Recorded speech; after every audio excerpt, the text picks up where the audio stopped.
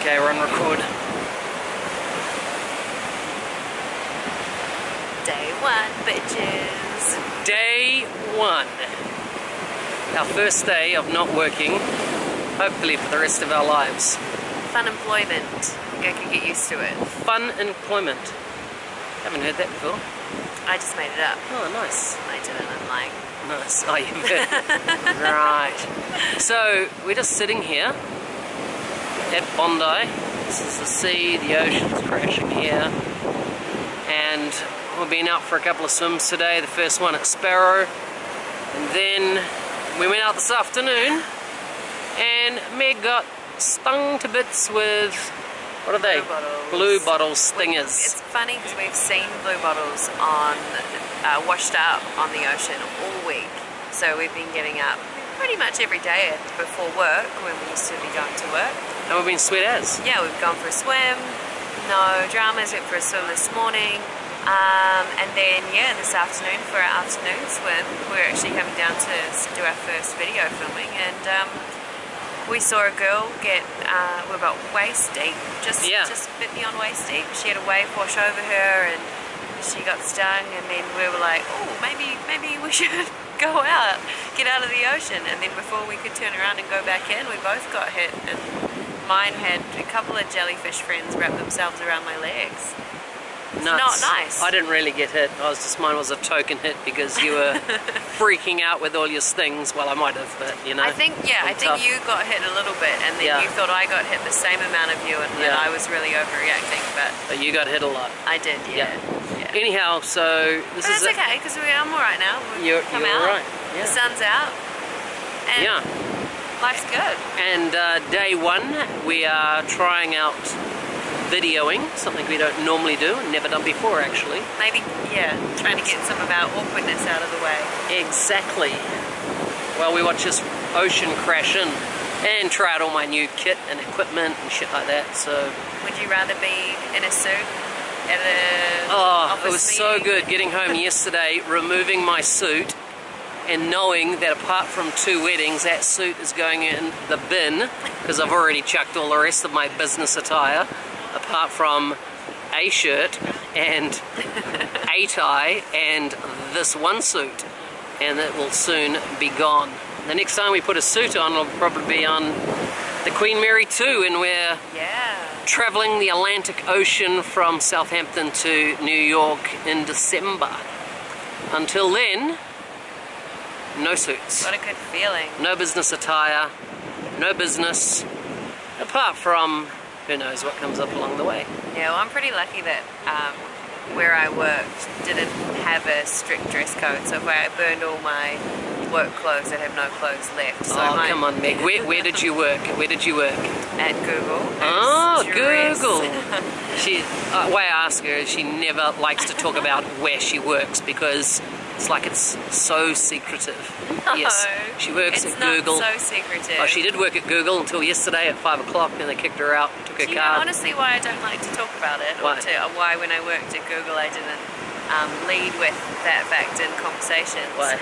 Um, because before I worked at Google, uh, I had a couple of friends that worked there, and I'd seen the movie The Internship, Yeah. and I had pretty high expectations going into Google. mm-hmm. Um, and then when I actually did get a job there, I um, I actually found out that it was better than what I expected. Wow. So it's I'm a little bit shy. Like it was really a really really good place Yeah. to work. So I didn't like I felt like I was bragging if I Yeah. if I kind of led with it. Don't, Um, don't you think that's just the fact that you're brought up in New Zealand and a Kiwi, and Kiwis don't like to big note it? yeah, yeah. I mean, you don't hear a lot of Kiwis going around saying, "Oh yeah, I'm the shit," and "Oh my," you know, I get lots of cool stuff. Because you know what? What would people say to them if they did that? You're a dick. You're a dick. hey, dick. That's what they would say. Oh, what an egg. What an egg. Ah, no. Yeah, so I true. Think, yeah, no, but it was it was good, and and I think um, as much as it was a, a really fun place to work, and I might, you know, hopefully work there again at some point. What what we're doing is just something we have to do. Yep. And we're lucky enough to be in a position To be do it. able to do it, which Exactly. to take 12 months off, Exactly. to to not um, be, you know, working. I was telling someone yesterday, they didn't, uh, one of my colleagues, they didn't realise that I've been working since I was 18. Yeah. And they said, you know, oh, well, what, like, you know, uni jobs and retail and stuff. And No, I was like, full time. yeah, and I ran through the, the jobs that I'd had at, you know, in admin roles and then Yeah. in, the, in your software development company Yep. uh, and then you know advertising agency and then at Google and I'm only 27 but I've been working for nearly 10 years Yeah. um, so and I never really took the time so I'm excited to be able to to do it now and, and the feeling is incredible Yeah. it feels a little bit like playing hooky It's good though. but I mean you've been working a few more years than me I've been doing a few either, more. right? And see, I've been with her 10 years. We're coming, this is our 10th year that we're taking to travel the globe. And the reason she's worked for the last 10 years is because I made sure that she worked from day one. a slave driver I don't want to be supporting nobody. Got to pay her own way. Uh, come on, you wouldn't have wanted to be with me if I was the kind of person that didn't, wasn't interested in, in paying my own way. True. Well, not paying your own way, but in a bludgeon. no, as in, I know what don't like mean. bludgers, right? I know what you mean. Uh, but anyhow, so here we are. This is the starting of what was planned or born almost two years ago, 18 months ago. We went to the UK for a four week holiday, saved all our annual leave, and flew from Sydney to the United Kingdom. And we went to London, Amsterdam, Paris, Dublin. Dublin Scotland. And we did that all in four weeks. And we came back and felt like is that it was like it was such an amazing time but it was over in a blink of an eye and so we hatched a plan to leave our jobs and it's taken 18 months naturally we've done a bit of saving um, to fund what we want to do around the world. And uh, we've uh, paid off all our debts. We're not carrying any debts at the moment which is such a massive it's thing to be a, a position to be in to not you know owe anybody anything which is so awesome. very different than the position we were in four years ago Yeah. when we came to Sydney. yeah when we came to sydney we owed a lot of money. We've whittled that away paid it off got ourselves clear and now we're in a position to you know really enjoy life. And apart from that trip kind of setting us on this um, journey we've had some challenges. And the time we've been in australia we've had four family members die I feel like I'm on a reality TV show now, and I'm doing that whole now let's get everybody emotionally crying, like feeling sorry for us. Please And listen to our sob story. yeah, and that's not why we're saying it, but we're just saying that we realise is life's bloody short, and Yeah. you need to get out there and live life. And the concept of um, buying a home, settling down, and having our whole world evolve around our little kingdom being our home uh, with a mortgage for the rest of our lives just did not appeal. I think having been in debt and then getting out of debt, Yeah. it seems like you know the next logical step, according to a, a lot of um, people, is to get into debt and be have a mortgage to pay your whole life.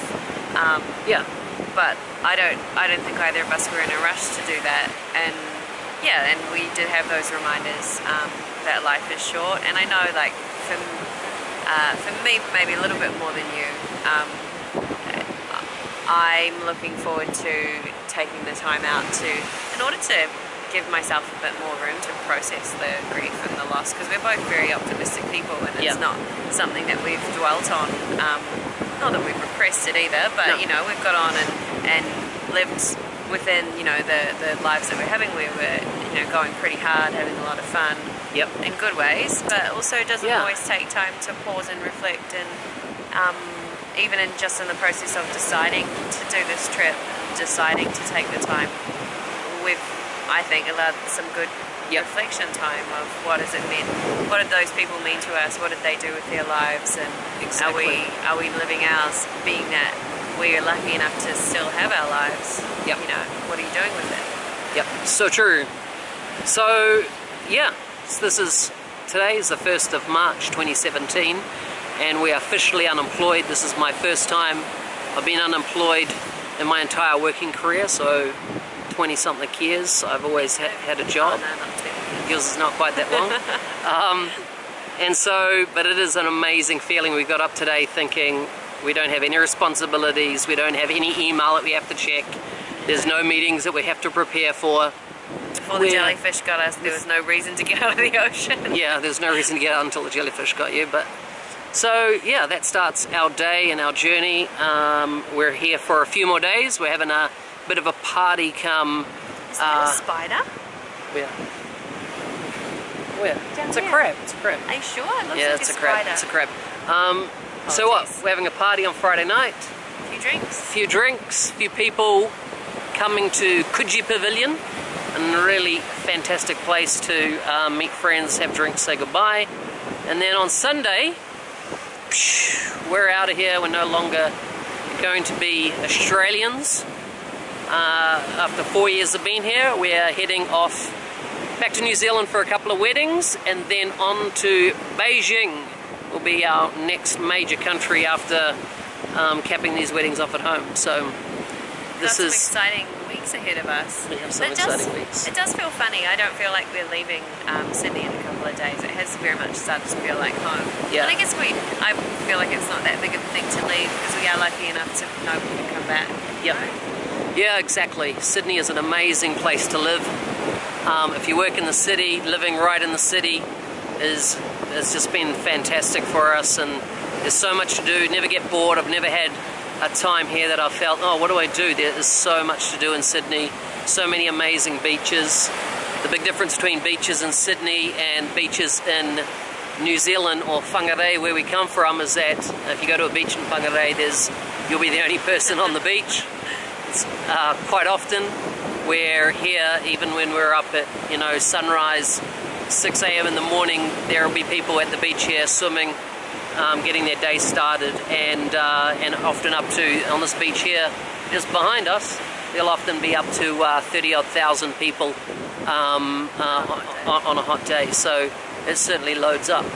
That's a bit about us. Um, we don't even know if we're going to put this video online. This is just us testing our ability to shoot video and uh, try our hand at vlogging. Got to learn how to edit video yet. I don't know. I've never done that apart from about a one short run down a mountain once um, in New Zealand, which I had on my GoPro. So yeah, this will be our first try, and we'll see how it goes.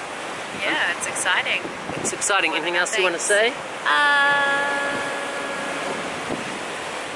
bye. Bye, Alicia.